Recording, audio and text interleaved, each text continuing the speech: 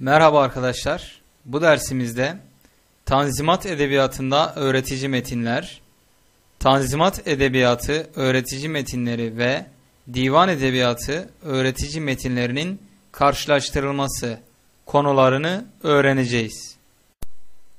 Tanzimat dönemi edebiyatında öğretici metinler Tanzimat sanatçıları öğretici metinler aracılığıyla halka hitap etmek, geniş halk kitlelerine seslenerek Batı'nın düşünce tarzını ve anlayışını yaymaya çalışmışlardır. Halka hitap ettikleri için öğretici metinlerde sade, yalın ve anlaşılır bir dil kullanmışlardır. Öğretici metinlerde genelde toplumsal konular işlenmiş ve dış dünyadaki sosyal ve siyasi gelişmelerle ülkemizin durumu karşılaştırılmıştır. Bunun dışında hürriyet, eşitlik, kanun, bilim ve teknik gibi kavramların ne olduğu, nasıl kullanılacağı anlatılmıştır. Geniş okuyucu kitlesine edebiyat dünyamızdaki yenilikler, değişmeler, yeni edebi türler tanıtılmıştır. Evet arkadaşlar, Tanzimat dönemi eserlerinin ana temalarından olan eski yeni çalışması yine öğretici metin türlerinde de ele alınan başlıca konulardan birisi olmuştur. Öğretici metinlerde ele alınan bir başka konuda edebiyatımızda eski zihniyetle tanzimatla başlayan yeni zihniyetin karşılaştırması olmuştur. Karşılaştırmalar çoğu kez dille ilgilidir. Eski edebiyatın ağır dili şiddetle eleştirilmiştir dilin sadeleşmesi gerektiği savunulmuştur. Ee, bu konuda Şinasi'nin dışında pek de başarılı olduğu söylenemez. Divan neslinin ağır dil anlayışıyla halka inilemeyeceği görüşü savunulmuştur. Öğretici yazılarda ele alınan bir başka konuda eski edebiyatı eleştirme üzerinedir. Eski edebiyatı belli bir zümreye hitap eden ve günlük yaşamdan kopuk, toplumsal oyalardan uzak olmakla suçlamışlardır. Bazı öğretici yazılar eski yeni çatışması ekseninde kaleme alınmıştır. Düşünür ve yazarlardan birinin öne sürdüğü düşünceye diğerinin cevap yazması şeklinde tartışmalar uzayıp gitmiştir. Şimdi de Tanzimat Edebiyatı öğretici metinlerini inceleyelim. Birinci öğretici metnimiz makale. Eski edebiyatımızda makale türü yoktu. Tanzimat edebiyatıyla beraber makale gazete aracılığıyla edebiyatımıza girmiştir. Makalelerde düşünce hürriyeti, vatanın ve milletin çıkarları, batının bilim ve sanat hayatını tanıtmak, eski zihniyetin yanlış ve eksik yönlerini göstermek, bir takım kavramları ve bunların mahiyetlerini anlatmak, dil ve eğitimle ilgili konuları ele almak, sanat ve edebiyat adamlarının görüş ve düşüncelerini aktarmak gibi konulardan söz edilmiştir. Arkadaşlar Tanzimat edebiyatıyla beraber edebiyatımıza giren makale türünün ilk örneğini Şinasi Tercümane Ahval Mukaddemesi adı altında vermiştir. Bunların dışında yine Ziya Paşa'nın Şiir ve İnşa adlı makalesi edebiyatımız için önemlidir. Ziya Paşa Şiir ve İnşa adlı makalesinde dilimizin sadeleşmesi gerektiği görüşünü savunmuştur. Namık Kemal Marif adlı makalesinde halkın özellikle de kızların eğitim görmesi gerektiği üzerinde durmuştur. Teraki adlı makalesinde Doğu ve Batı medeniyetlerini karşılaştırmıştır. Hürriyeti Efkar adlı makalesi düşünce hürriyeti üzerinde durur. Tasviri Efkar gazetesinde yayınlanan şark meseleleri ve Lisan-ı Osmani'nin edebiyatı hakkında bazı mülahazatı şamildir adlı makaleleri önemlidir. E, Tanzimat edebiyatında ikinci öğretici metnimiz mektup. Birbirinden uzakta olan kişilerin haberleşmek, dertleşmek için kaleme aldıkları yazı türüne mektup diyoruz. Bu dönemde sürgün hayatı, elçilik görevi gibi sebeplerle yurt dışında olan sanatçılar birbirlerine mektuplar yazmışlardır. Tanzimat döneminde oldukça gelişmiştir. Bu dönemde mektup düşünce alışverişi, edebi konuları değerlendirme ve tartışma görevi de üstlenmiştir. Bu tür mektubun ilk örneğini edebiyatımızda Akif Paşa vermiştir. Namık Kemal, Abdülhamit Tarhan, Ahmet Mithat Efendi, Ziya Paşa, Muallim Naci gibi sanatçılar da bu türün en önemli örneklerini vermişlerdir. Ziya Paşa sosyal ve siyasi eleştirilerini Sadrazam Ali Paşa'ya yöneltmiş ancak Ali Paşa'ya yönelik eleştirilerini genellikle şiir biçimiyle kaleme almıştır. Rüya adlı eserinde de Ali Paşa'ya yönelik eleştirilerine yer vermiştir. Malta mektupları başka bir eseridir.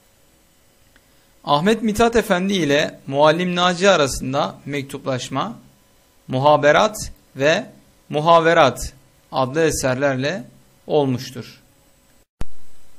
Eleştiri Tanzimat edebiyatında en çok önem verilen öğretici metin türlerinden bir tanesi de eleştiridir. Eski edebiyatımızda bir düz yazı türü olarak eleştiri kavramı yok sayılmıştır. Genelde eleştiriler için şiir tercih edilmiştir. Tanzimat edebiyatında eleştiri türü hem şiir biçiminde devam etmiş hem de nesir biçiminde eleştiri örnekleri verilmiştir. Namık Kemal'in yazdığı Tahribi Harabat ilk eleştiri örneği olup eski zihniyeti savunan, doğu kültüründen kopamayan ve divan şiirini yücelterek halk şiirini küçümseyen Ziya Paşa'yı hedef almıştır. Bahar-ı Daniş, Tahribi Harabat, Takip, İrfan Paşa'ya mektup gibi eserler de Namık Kemal'in kaleme aldığı önemli eleştiri örnekleridir. Tanzimat ikinci dönemde eski ve yeni edebiyat tartışması eleştiri eserlerini beraberinde getirmiştir. Yeni edebiyatı Recaizade Mahmut Ekrem Demdeme eseriyle, eski edebiyatı ise Muallim Naci Zemzeme adlı eseriyle savunmuştur. Yine Ziya Paşa Rüya adlı eserinde Ali Paşa'ya yönelik eleştirilerine yer vermiştir. Dönemin sanatçılarından Ahmet Mithat Efendi ve Muallim Naci de eleştiri nitelikli yazılar kaleme almışlardır. Anı ve gezi yazısı Bir kişinin yaşadığı ya da tanık olduğu olayları sanat değeri taşıyan bir üslupla anlattığı yazılara anı diyoruz. Anı eski edebiyatımızda ikinci plana itilmiştir. Fakat Tanzimat döneminde ön plana alınmıştır. Batı tekniğini almak için yenileşme çabası içine giren Osmanlı İmparatorluğu bazı aydınlarını Batı ülkelerine göndermiştir. Bazı aydınlar ise kendi imkanlarıyla Fransa, İngiltere gibi devletlere gitmişlerdir. Bu durumun doğal sonucu olarak aydınlar gördükleri ve yaşadıklarını anı ve gezi yazısı olarak yazmışlardır. Bu türde örnekler Sami Paşazade Sezai, İngiltere hatıraları, Paris hatıraları, İspanya hatıraları, Musahabe adlı eserlerini yayımlamıştır. Ziya Paşa Defteri Amal adlı eserinde ağırlıklı olarak çocukluk hatıralarına yer vermiştir. Akif Paşa Tap Sıra adlı eserinde anı türünde örnekler vermiştir. Namık Kemal'in Magosa hatıraları anı türündedir. Yine Muallim Naci Ömer'in Çocukluğu adlı anı kitabında kendi çocukluğundan bahseder. Gezi yazısı Bir yazarın gezip gördüğü yerlerdeki doğal ve tarihi güzellikleri, yöre insanın sosyal, ekonomik ve kültürel yapısını anlattığı yazılardır. Edebiyatımızda gezi yazısının geçmişi çok eskidir. Türün ilk örnekleri divan edebiyatımızda mevcut olan seyahatnamelerdir. Bu türün önemli eserleri Seyyid Ali Reis'in Miratül Memalik ve Evliya Çelebi'nin Seyahatname adlı eserleridir. Batı tekniğini almak için yenileşme çabası içine giren Osmanlı İmparatorluğu bazı aydınlarını batı ülkelere göndermek zorunda kalmıştır. Bazı aydınlar ise kendi imkanlarıyla Fransa, İngiltere gibi devletlere gitmişlerdir. Bu durumun doğal bir sonucu olarak aydınlar gördüklerini ve yaşadıklarını gerek gezi yazısı gerek anı olarak kaleme almışlardır. Ahmet Mithat Efendi resmi bir görevle gittiği Stockholm'de 3,5 ay kalmış bu Avrupa seyahatinin izlenimlerini Avrupa'da bir Cevelan adlı eseriyle kaleme almıştır. Evet arkadaşlar Tanzimat dönemi edebiyatının öğretici metinlerini gördükten sonra şimdi de Tanzimat edebiyatı öğretici metinleri ile divan edebiyatı öğretici metinlerini karşılaştırmasını görelim. Divan edebiyatında tezkire, seyahatname, anı ve münşaat gibi türler klasik bir yapı içinde verilirken Tanzimat edebiyatında Batı edebiyatından alınan makale, eleştiri gibi yeni türlerde kullanılmış, klasik yapı ortadan kaldırılmıştır. Divan edebiyatı öğretici metinlerde belli konular işlenmiştir. Bu konular dini tasavvufi, ahlaki, tarihi ve benzeri konulardı.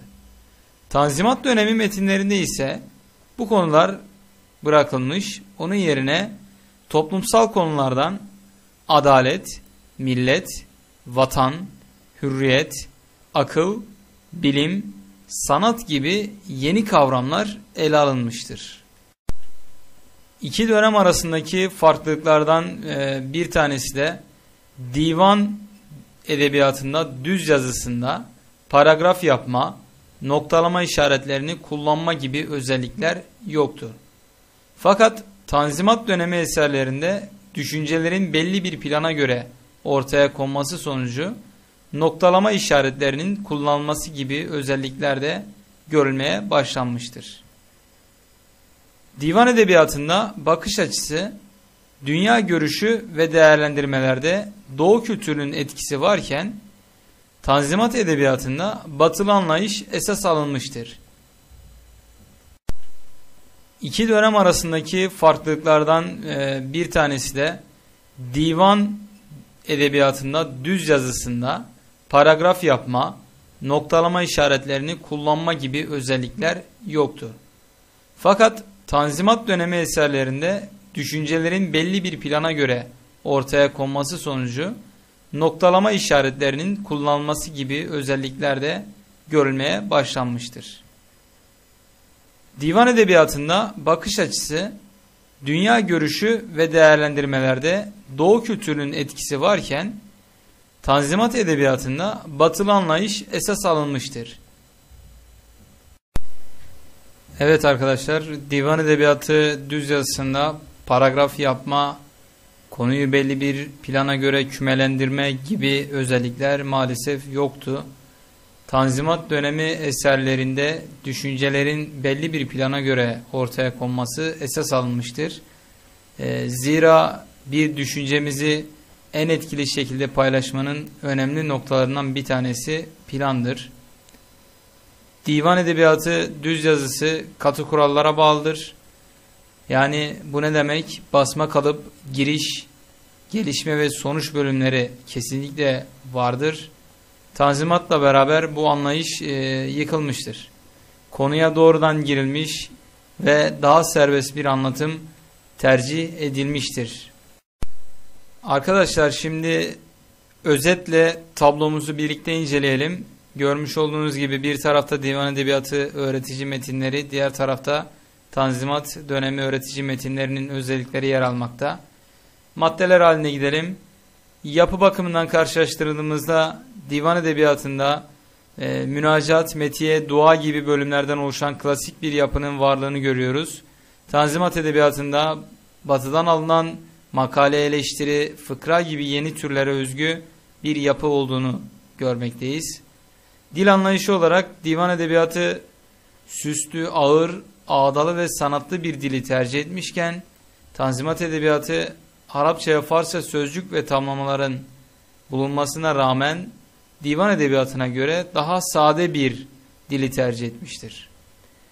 Konu olarak baktığımızda divan edebiyatı genellikle dini, tasavvufi, ahlaki ve tarihsel konular işlemiştir.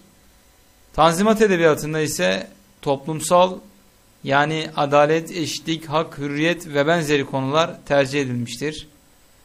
Seslendikleri kitle divan edebiyatı soyut bir edebiyat olduğu için saray çevresi ve aydınlara seslenmiştir. Tanzimat edebiyatı ise kendisi ön planda halkı tuttuğu için halka hitap etmiştir. Anlayış olarak e, divan edebiyatında sanat sanat içindir anlayışı hakimdir.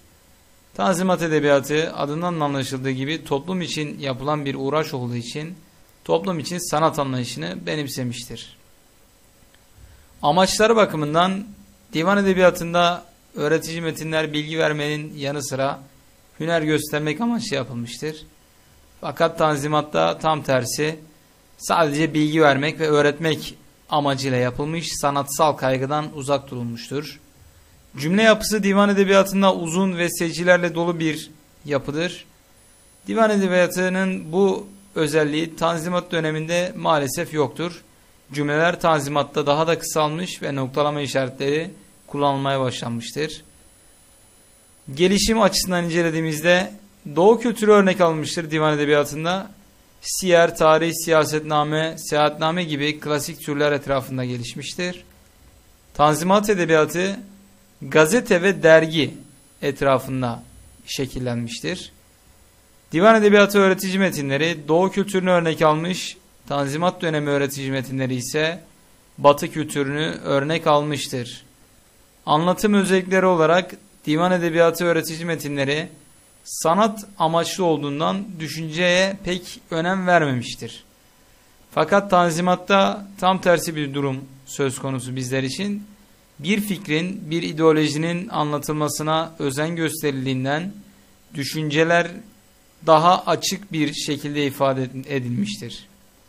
Etki, divan edebiyatı saray ve çevresindeki aydınlar için yapıldığından dolayı sadece sınırlı sayıda insanlar uğraşmıştır. Ama tanzimat tam tersi gerek gazete ve dergi çevresinde gelişmesinden dolayı daha geniş halk kitlelerine ulaşmıştır. Arkadaşlar bu dersimizde Tanzimat Edebiyatı'nda öğretici metinler, Tanzimat Edebiyatı öğretici metinleri ile Divan Edebiyatı öğretici metinlerinin karşılaştırılması konularını öğrendik. Bir sonraki dersimizde görüşmek üzere.